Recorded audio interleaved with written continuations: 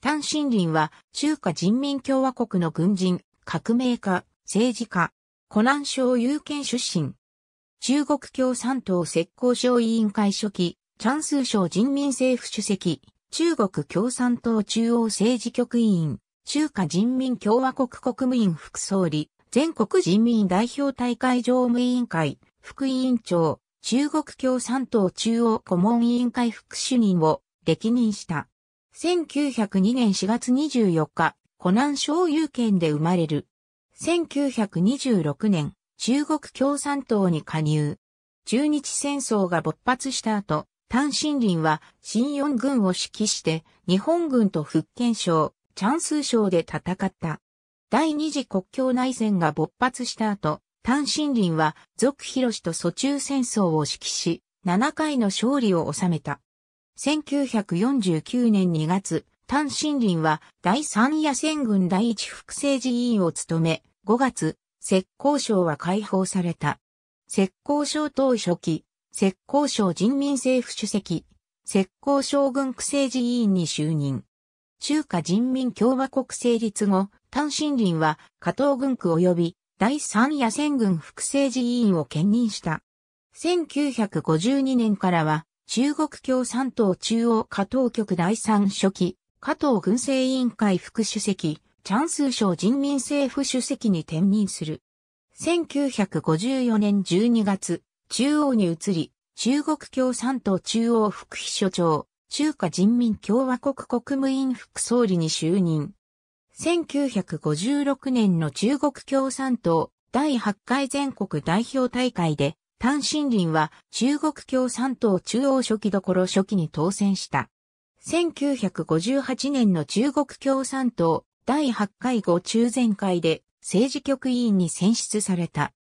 文化大革命が本格化して、約半年後の1967年2月14日と16日に、州オンライの主催により、中南海の海人道で行われた政治局の会議で、単身林は、陳記、楊健英、李千年、序向き前、上久し至るらと共に、文化大革命の進め方への不満を表明した。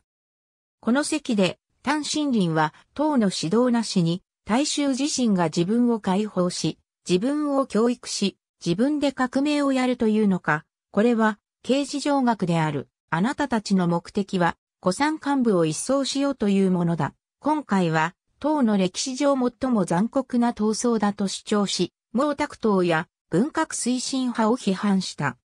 会議翌日の2月17日には林票に、後世は主席の指示を聞かず、側転武功よりも凶悪だ。自分は以前からもう最後の決心をしており、犠牲は覚悟の上だという手紙を送った。しかし、2月18日に毛沢東は単身林を批判し、その後この会議の出来事は2月逆流という名前で共産党としても批判が加えられた。以後、単身林は迫害を受けた。1969年4月の中国共産党第9回全国代表大会終了までに、単身林は中国共産党中央政治局員を解任されていた。1973年8月24日、中国共産党第10回全国代表大会で単身林は中央委員に選ばれた。1975年1月、単身林は全国人民代表大会常務委員会副委員長に選ばれ、また再任された。1982年、単身林は中国共産党中央顧問委員会副主任に当選した。1983年9月30日に北京で死去した。単身林は一生に2回結婚したことがある。初代の妻は小終戦と言い、第2期の妻はクズ警備という。ありがとうございます。